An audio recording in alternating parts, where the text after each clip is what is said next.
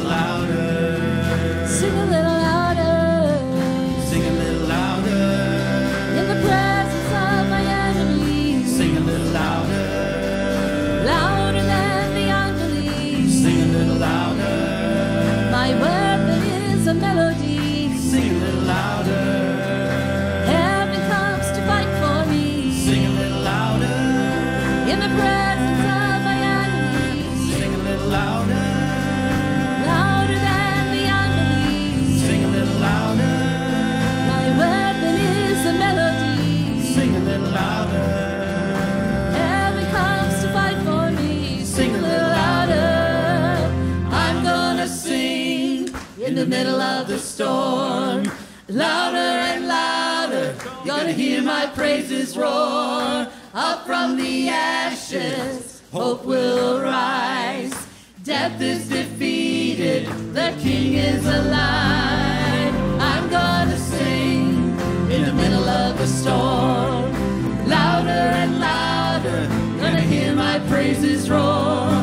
Up from the ashes, hope will arise. King is alive.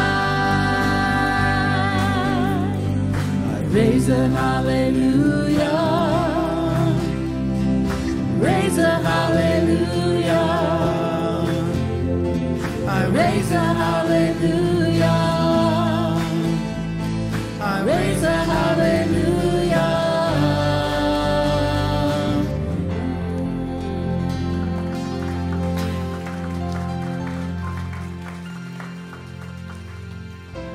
I love the reminder in that song to just turn to the Lord in the middle of whatever you are currently facing today instead of speaking negatively about your situation, instead of worrying or grumbling.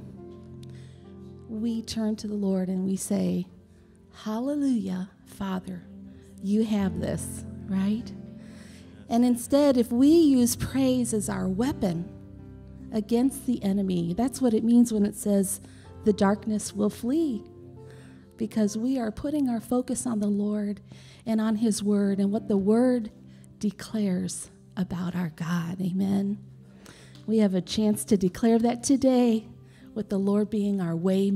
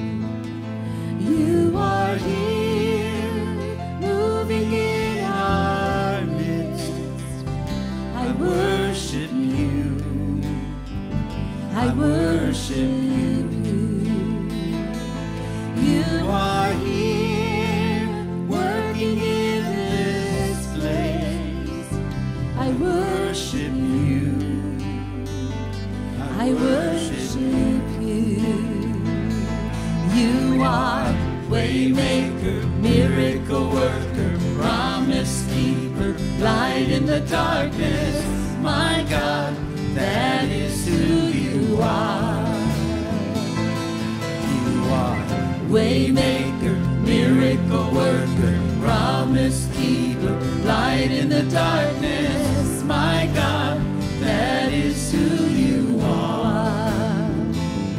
You are here, touching every heart. I worship you. I worship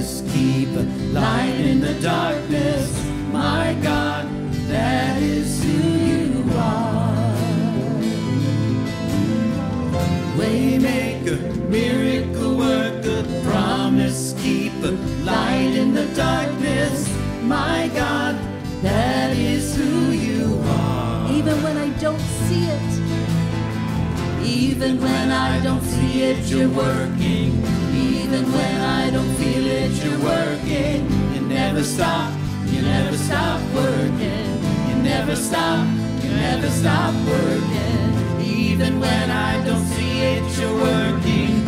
Even when I don't feel it, you're working. You never stop, you never stop working. You never stop, you never stop working. Even when I don't see it, you're working. Even when I don't feel it, you're working. You never stop, you never stop working. You never stop, you never stop working. Even when I don't feel it, you're working. You never stop, you never stop working. You never stop, you never stop working. Waymaker, miracle worker, promise keeper, light in the darkness. My God, that is who you are. That is who you are. That is who you are. That is who you are. That is who you are.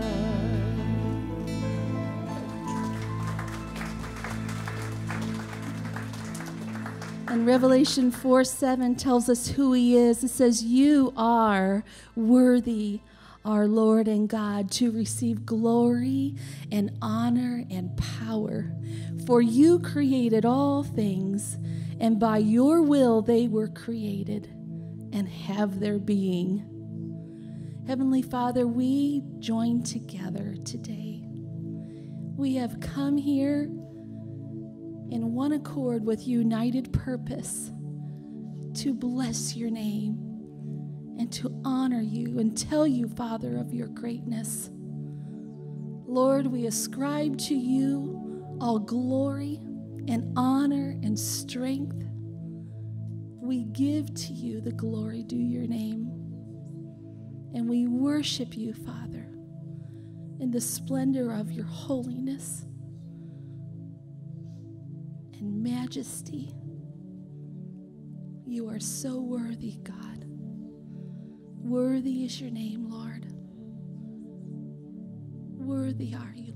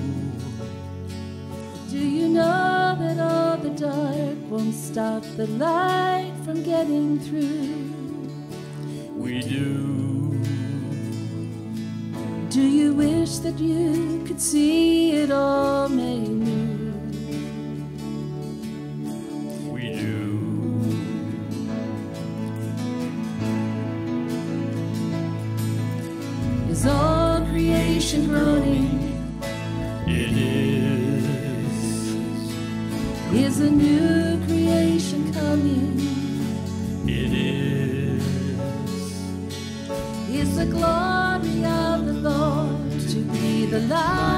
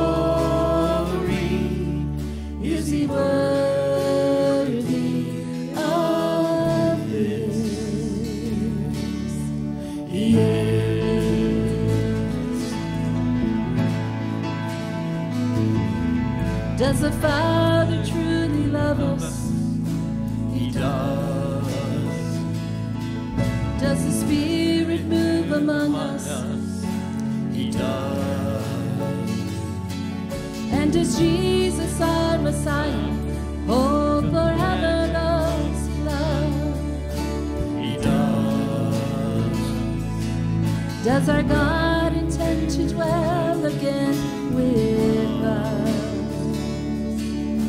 He does.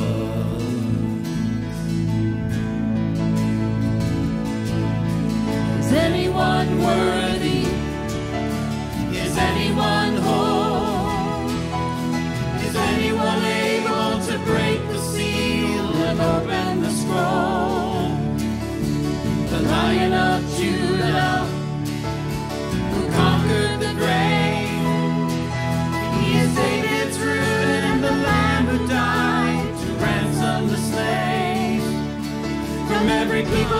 Tribe, every nation and tongue. He has made us a kingdom of priests to God and reign with the Son. Is he worthy?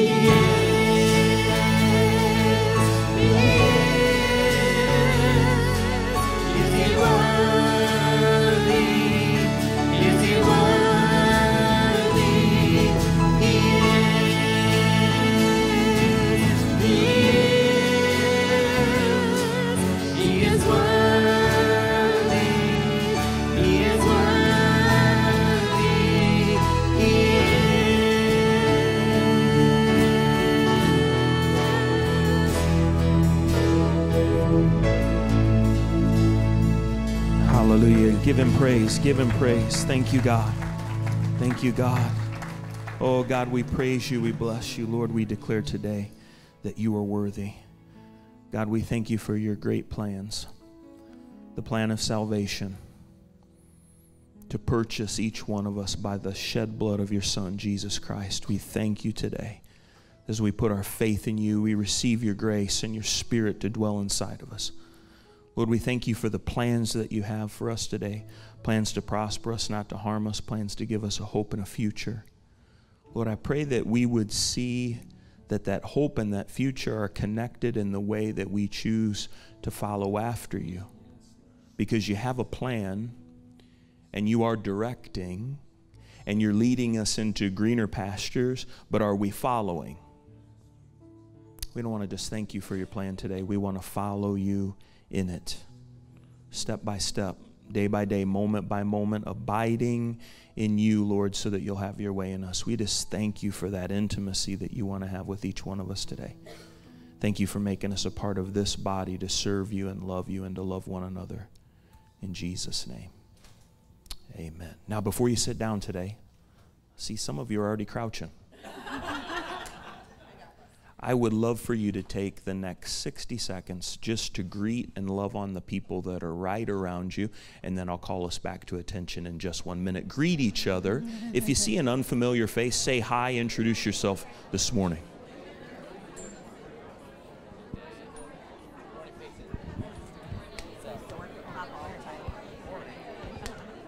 Boys, you guys look like you're ready to go on like a Hawaiian vacation. You look so tropical.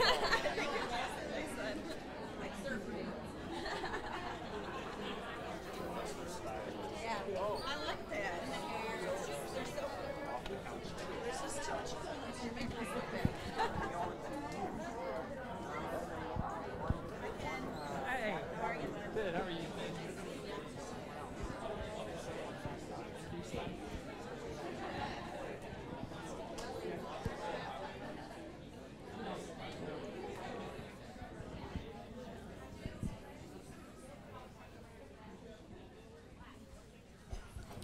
Well, it's a blessing to have you here this morning again. If you're visiting with us for the first time, we want to welcome you to Open Bible. My name is Pastor Andy, and uh, we want you to encounter the love of Jesus and the truth of His Word today.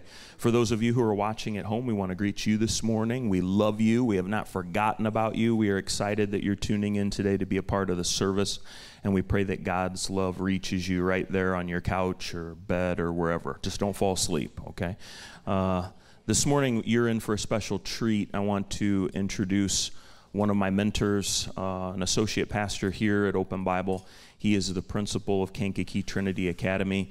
He does an amazing job at all things. Uh, if you know Pastor Brad, he is a straight shooter. Amen. And he's going to shoot straight the word to us this morning. Would you give a great big open Bible welcome as Pastor Brad comes?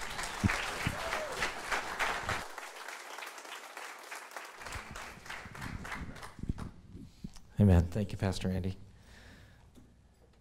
I am totally blessed to be a part of this man's ministry. And uh, his wife, uh, they do an incredible job as, as pastors of this church.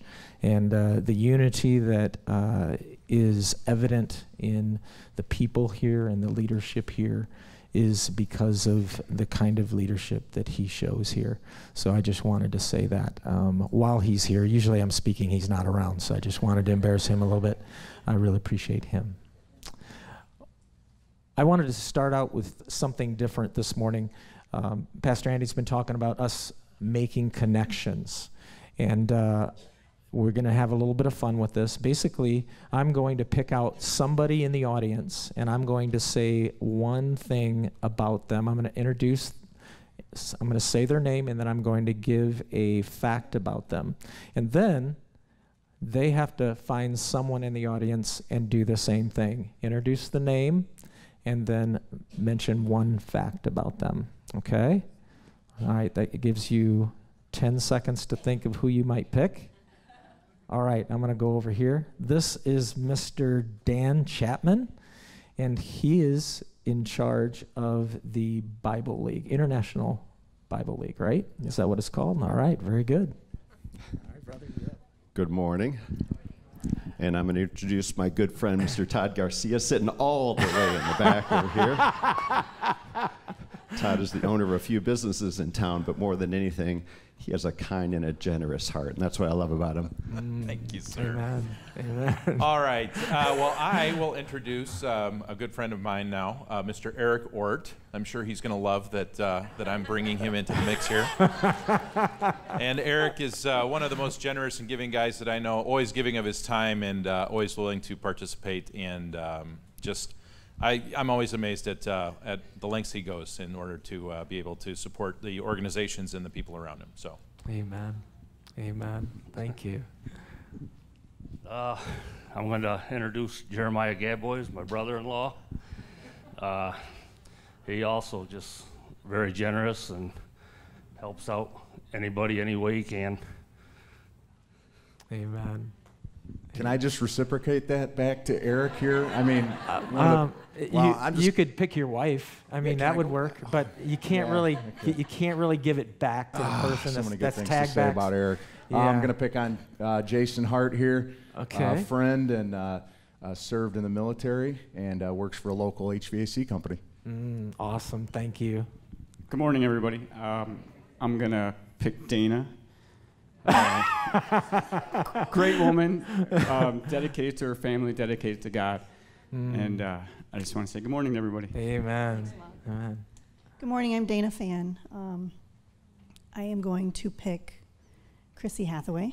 Mm, She's a wonderful Christian woman who works um, at KTA in the kitchen.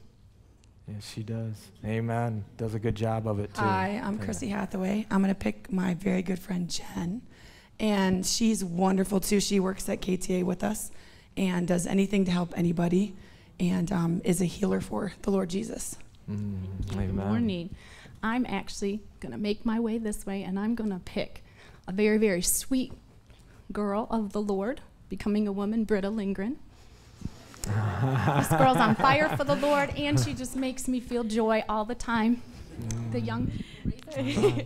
I'm gonna pick my sister Emily. She's one of the most nicest and friendliest girls I know. Oh, amen. Um, I'm gonna pick Stuart Hansen. He was a, a very uh, Power Ranger enthusiast when he was younger. Out of all the things. Uh, um, I'll do something different. Um, I'm gonna do mm, Mr. Warden. I'll do Mr. All Warden. right. Um, Mr. Warren has taught in youth group for many years and has been a really great mentor in my life. Mm, amen. Oh boy. I am going to introduce one of my good friends. He's burning for Jesus. He's also three days younger than me. David Tate.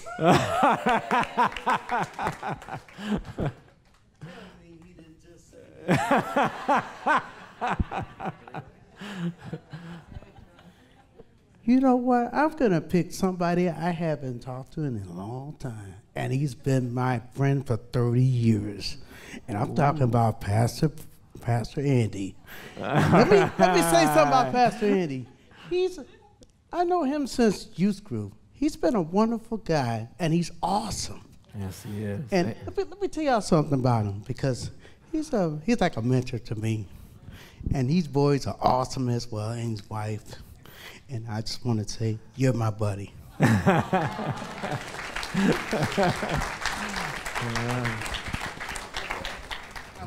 Amen. Good job, David. That was good. He's my manager. I, I feel like I should be carrying a belt around as I walk into the walk into the ring. Amen. I'm gonna I'm gonna I'm gonna talk a little bit more about Pastor Brad because it's probably time to hand it back to you. But uh, yeah, for those of you who didn't know, Pastor Brad was my youth pastor. And so uh, we have a lot of great stories and have done all kinds of amazing things together. And I think about him all the time. And I'm super excited that you get to hear the word from him today. So appreciate him. Give him a hand this Thank you, brother. Thank you, brother. Appreciate it. All right, that's a good place to stop. Right there. Amen. Thanks, guys, for, for doing that for me. I'd like to start out with a word of prayer, if I could. Father God, right now I just come to you and I just thank you for the privilege that we have to be in your house. And God, I just ask that you would just speak through me. God, I pray that there's not one thing that would come out of my mouth that isn't from you. And God, I just pray that your spirit would work in our hearts and draw us together in Jesus' name. Amen. I love the family that God has put together here. It's pretty amazing. As you know, just a few weeks ago was July 4th. We celebrated the Declaration of Independence, which was 245 years ago. During the American Revolution, the legal separation of the 13 colonies from Great Britain occurred on July 2nd, 1776, when the Second Continental Congress voted to approve a resolution of independence that had been proposed in June by Henry Lee, Richard Henry Lee of Virginia. After voting for independence, Congress turned its attention to the Declaration of Independence, a statement explaining this decision, which had been prepared by a committee of five with Thomas Jefferson as its principal author. Congress debated and revised the Declaration, finally approving it on July 4th. We made our stand against England. And over the years, many sacrifices have been made for our freedom. During the Civil War, we fought a war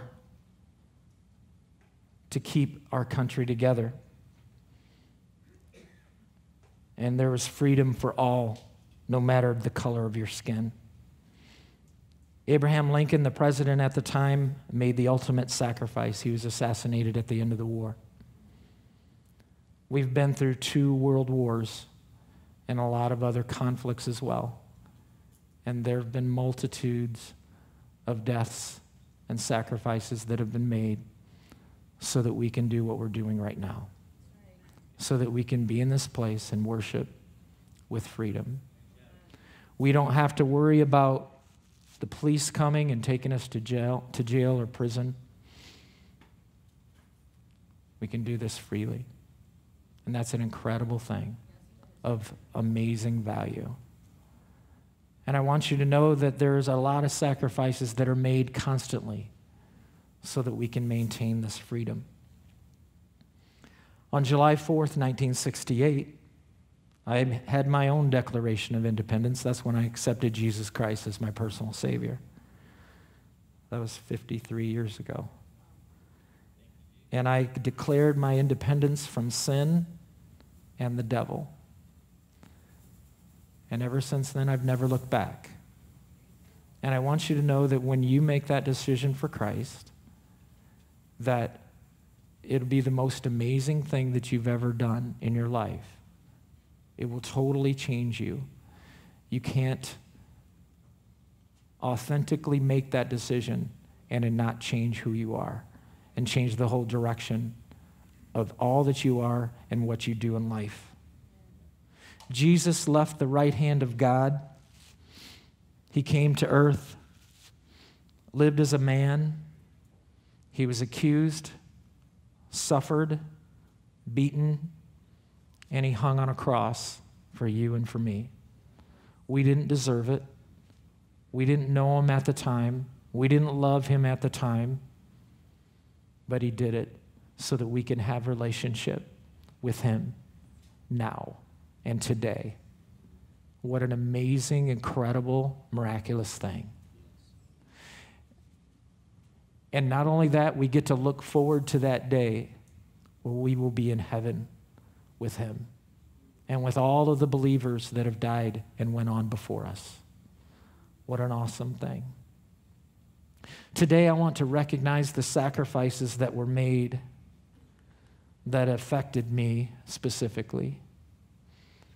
As I grew up in a Christian home, in fact, I'm, I'm so happy to have my, my Uncle Dave and Judy that are here, and, and my Aunt Audrey here as well. I don't think that they've heard me speak. This will probably be their last Sunday here. but, but it's great having them. But I remember growing up and my dad working really hard. And uh, I rem- he was a well driller. And, and back when he started out, basically drilling a well was taking a, a, a long, uh, heavy piece of metal. I don't even know if it was steel or iron, to be honest with you, but it was attached by the end with a cable. And then he had a machine with a tower and a pulley system. And basically, just up and down, up and down. Remember that, Uncle Dave? Up and down, up and down. And, and that's the way he would dig a well. And it usually took him about three days to, do, to drill one well. Okay? And he would come home, and his hands were just full of calluses and scars, and, and his fingernails sometimes were blue because he would accidentally squish them. He would usually have two or three fingernails that were nasty at all times. And he would just work and work and work. And he would drill wells during the day, then he would eat supper, and then after supper, then he would go out and he would um, uh, go out to the building and he'd heat up some uh, a fire really hot, and then he'd stick those bits um, into the fire, and then he'd pound them with a sledgehammer, making them as sharp as possible, so that the next day they could drill uh, at least a little bit better than they did that day. And he would do that day in and day out. And I remember that he would be passed out on the, on the couch at night, and he was listening to Moody radio all the time. And, and we as kids, we'd walk in and we'd pull up his shirt, and then we'd blow on his belly, or we'd beat it like a drum, and he'd just laugh and he'd say, Hey, what you doing? we were, he brought us to church whenever the doors were open. He taught us what was most important, and that is whatever we do for Christ, is what we would need to live for. He would come into our rooms sometimes before bed and he'd tell us about how God has a special plan and that he loves us and he'd pray with us. I remember he would talk with people whenever he would drill wells with people and put in their pumps. He would talk about Jesus to them. He built the house that we were in. And then, but he didn't have much money, so he built the basement after the house was already there. I hear that could be dangerous, but that was my dad. He didn't have the money for it at the time, so he, so he did, did the basement after the house was already in place. We got by on very little money, and yet he still found money to send us to a Christian school to help us when it was time to go to college. I remember that the stuff that we would eat normally was peanut butter and jelly sandwiches and a hamburger helper. Right, Mom? You cooked hamburger helper all the time. And you don't know this, Mom, but there was one day I had just had enough of hamburger helper. and I, and I said to, to, my, to Brent and, and, and Trish and, and Rick, I said, that stuff smells like dog food. It's nasty. I didn't let you know, Ma. I know you would have worked me over, but that's, that's just was my opinion at the, t- at the time. But we had a lot of that um, sacrificed. Sacrificed. When it was time to go out to eat, which was every once in a long while, we'd go to McDonald's, right? Yep. Yep. When it was time for vacation, basically, we didn't have a camper, so my dad put this wooden cover over the over a pickup truck and and we would jump in and we would we would go to my aunt audrey's and, and uncle jerry uh, that were pastoring down in florida at the time. We'd go down there. That was our vacation. Of course we wouldn't stay in a hotel. We'd be staying at their house and sleeping on the floor and stuff like that. Uh, or we'd uh, drive to family camp. And that was our vacation. It was cool for me. I mean it was awesome. It was fun you know? So so anyway the sacrifices that we make and hopefully your parents did that for you so that your lives would be a little bit better and hopefully we are doing it and making sacrifices in ways so that our kids can have things a little bit better that's just the nature of loving your kids right I remember learning how to work. I remember Uncle Dave hiring us. And remember those burlap bags, Dave, that you would give us like a nickel or whatever it was if we would, if we would uh, cut those apart so you could use them in the nursery with the trees. That was our first job. We were collecting these nickels, and man alive, all of a sudden we could buy a matchbox car after about after about a week or so. and you know what, though? We learned the value of money. If you, if you have to work for what you get, then you understand that.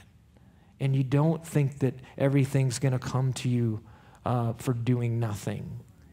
And you don't think that you're entitled and that kind of thing. So, that was some great things that I remember growing up.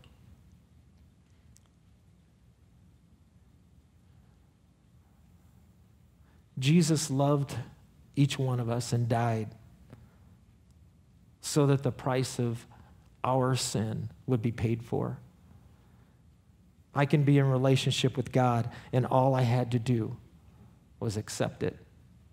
And each one of us have to make that decision for ourselves. Wouldn't you like to make that decision for your kids? Wouldn't that be cool? Hey, you're going to be a Christian whether you like it or not. You know, you, you know, you can't do that. Everybody has to make that choice. Everybody does. Salvation is declaring your independence from sin and the devil. Philippians chapter 2, verses 12 and 13. Therefore, my dear friends, as you have always obeyed, not only in my presence, but now much more in my absence, continue to work out your salvation with fear and trembling. For it is God who works in you to will and to act according to his good purpose. You know what? When, when you sign up for the United States Army and you put your name on that dotted line, boom, you're in. All right, this is the date you're going to show up for, uh, for boot camp and make sure you're there, right? All of a sudden, things are different. My life is no longer mine, my life is theirs when you sign that, li- that dotted line. That's just the way it is. In the same way with Christ, when we accept Him, all of a sudden we are deciding we are going to be in the battle with Him. And our lives are no longer ours, but are His. 1 Peter 5 8 says, Be self controlled and alert. Your enemy, the devil, prowls around like a roaring lion looking for someone to devour. There is an enemy out there that is wanting to destroy and to kill everything that God loves and everybody that God loves. Satan would like nothing more than to have every one of us give up and turn our back on Christ and to be in hell with him someday. That's just his nature. The spiritual war that is out there, Ephesians 6:12, for our struggle is not against flesh and blood, but against the rulers, against the authorities, against the powers of this dark world, and against the spiritual forces of evil in heavenly realms. There is not going to be any room for pacifists. In the army of God, it's all hands on deck. God has a purpose for you and I to touch the lives of people that are around us. And He puts us in all unique places. But God has a plan for us. So when we sign up on that dotted line uh, to go into the military, I said, boot camp's going to be right here. And you know what the first thing that they do? They cut your hair. They want everybody looking the same. And they say, You're going to eat this, and this is when you're going to eat, and this is how much you're going to eat. And then when you get done, with that, you're going to do this, and then you're going to do that, and then you're going to run, and you're going to dig, or whatever it is. You're going to do this training. You're going to wear this uniform. You're going to sleep at this time. You're going to wake up at this time. It's all about discipline. Now, why is that? Why don't they just say, hey guys, whenever you want to come over, we're just going to go have a little bit of fun and shoot some guns? Do you think that's going to work when on one day the commander says, attack? Will that work? No, no. Discipline is the key to having an army. And the only way that you're going to obey a commander in, in the face of enemy fire is when there's discipline and you've been trained to obey.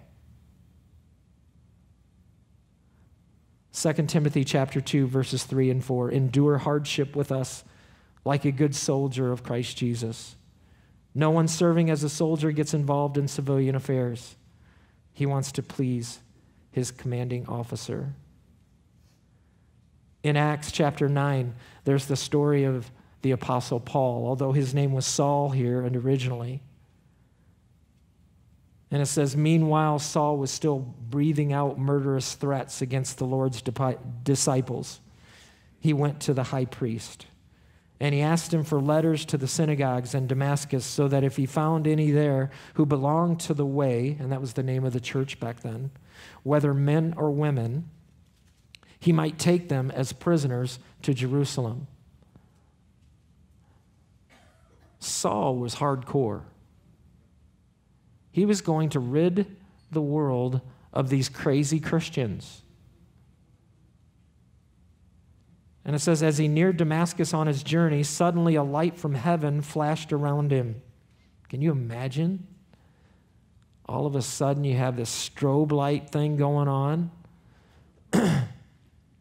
he fell to the ground and he heard a voice say to him, Saul, Saul, why do you persecute me? Who are you, Lord? Saul asked. I am Jesus who you are persecuting, he replied. Now get up, go into the city, and you will be told what you must do. He didn't even give me any options, did he? He said, This is what you're going to do. The men traveling with Saul stood there speechless. Can you imagine? They're seeing Saul just like falling down on the ground and talking up in the sky to nobody. They heard the sound, but they didn't see anyone. Okay. Saul got up from the ground, but when he opened his eyes, he could see nothing. So they led him by the hand into, into Damascus. And for three days, he was blind and did not eat or drink anything. You think that broke his, uh, that broke him? And in 2 Corinthians chapter 11, you have the Apostle Paul then later talking about what it means to be a Christian. Here you go. Are they servants of Christ? If I am out of my mind to talk like this, or I am out of my mind to talk like this, I am more. I have worked much harder, been in prison more frequently, been flogged more severely, and been exposed to death again and again. Five times I received from the Jews the 40 lashes minus one. Three times I was beaten with rods. Once I was stoned. Three times I was shipwrecked. I spent a night and a day in the open sea. I have been constantly on the move. I have been in danger from rivers, in danger from bandits, in danger from my own countrymen, in danger from Gentiles, in danger in the city, in danger in the country, in danger at sea, and in danger from false brothers. I have labored and toiled and have often gone without sleep. I have known hunger and thirst and have often gone without food. I have been cold and naked. Sign me up, man, right? I want all of these things. Being a Christian is not for wimps, okay? Being a Christian is a real deal.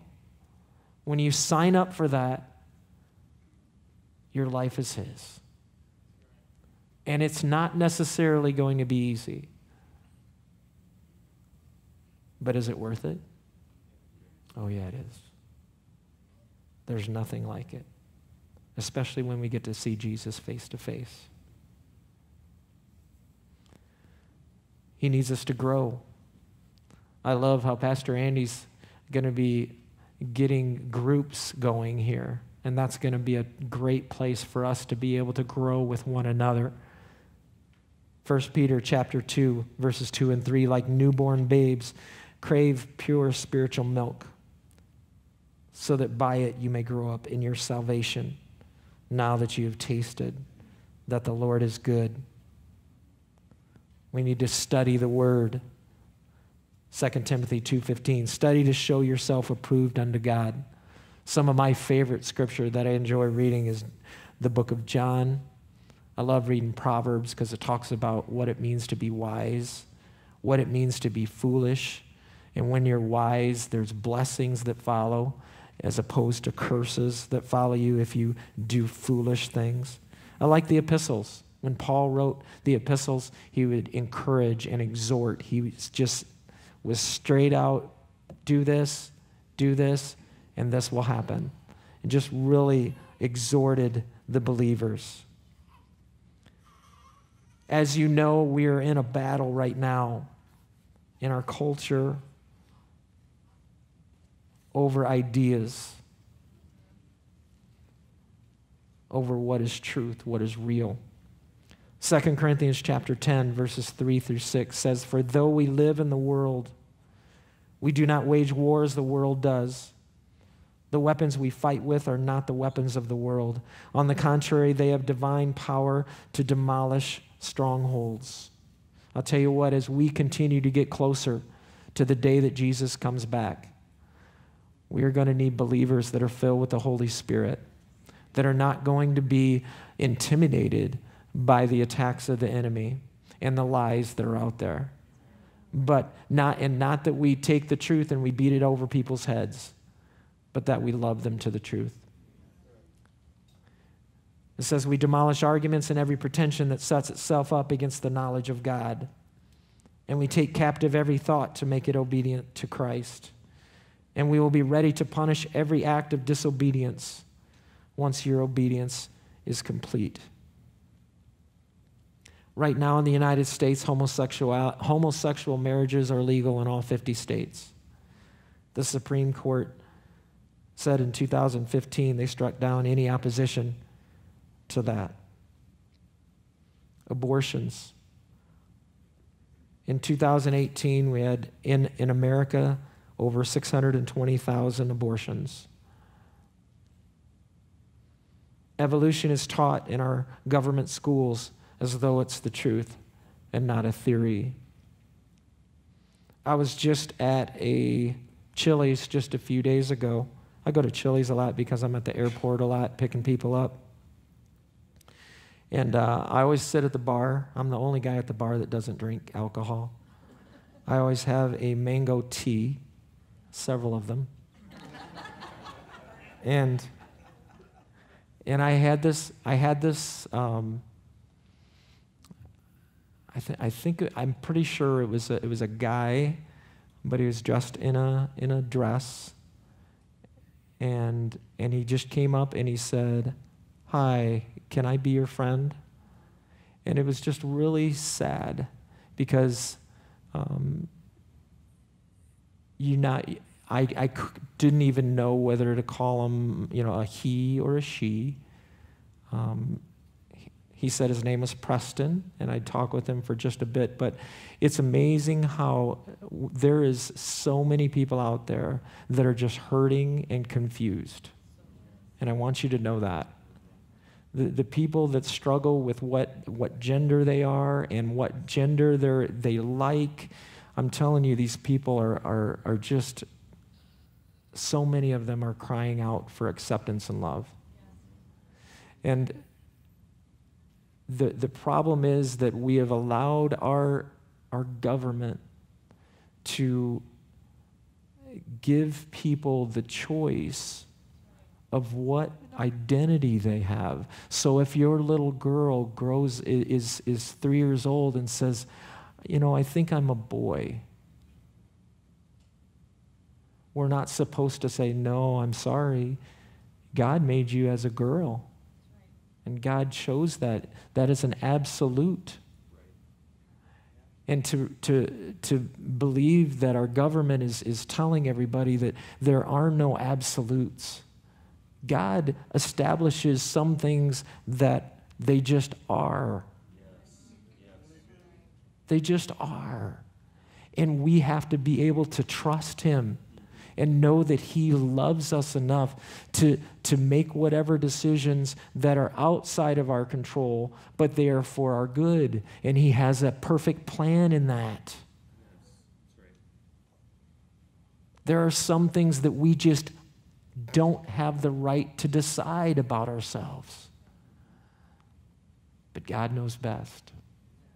And we have a generation that we're giving permission to make these kind of decisions, and they're growing up confused.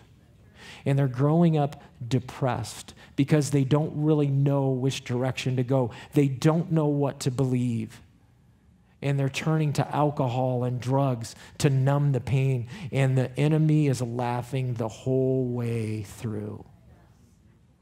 And that's where it takes loving believers to step in. It really does.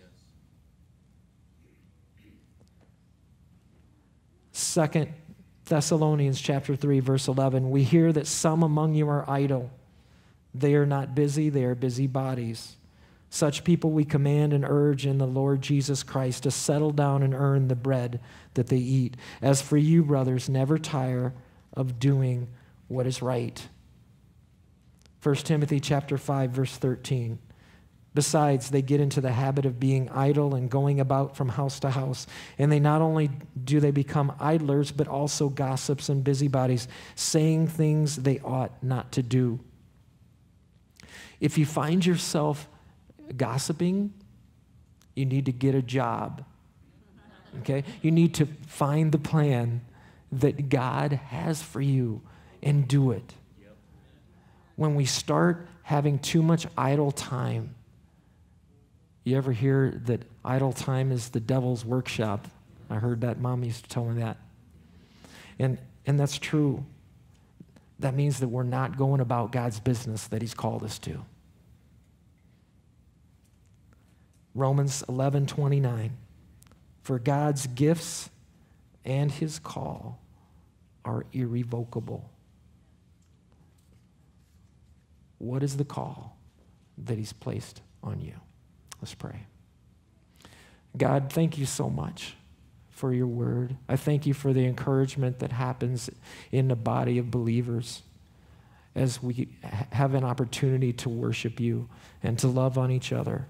And God, to encourage one another in all that you have for us, God. I thank you for the calling that you've placed on each one of us. Father, I pray that we would um, be the people that you've called us, Lord, that we would be built up in the Spirit, Lord, that we would uh, get in your word. God, be led by your Spirit in everything, God.